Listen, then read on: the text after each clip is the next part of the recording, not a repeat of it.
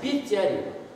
Алгебраически я вам сегодня ее уже доказал, что парабола э, видна под прямым углом из всех точек своей директрисы. Сейчас будет доказательство, внимание, геометрическое.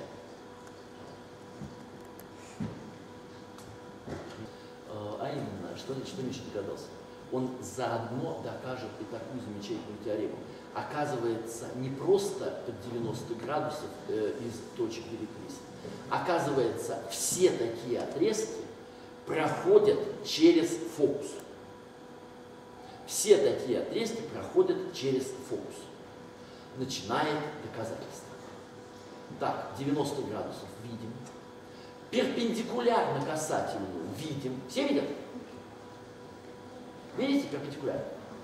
А теперь внимание. Помните ли вы, что у нас было э, про этот самый перпендикуляр? Где он бегал? По касательной к параболе, правильно? По горизонтальной прямой. Так значит, смотрите, какая забавная история. Вот это у нас прямоугольник. У него противоположные вершины синяя и красная, две другие противоположные белые. У него диагональ всегда горизонтальна и всегда касается параболы. Но извините, где тогда расположен центр этого прямоугольника? На горизонтальной прямой. Потому что белые точки всегда на горизонтальной, вот на этой рыжей горизонтальной прямой, на касательной к вершине параболы. Значит, середина отрезка между ними тоже на горизонтальной прямой. Ну так извините, центр прямоугольника это не только середина отрезка между белыми точками, но и между красной и синей.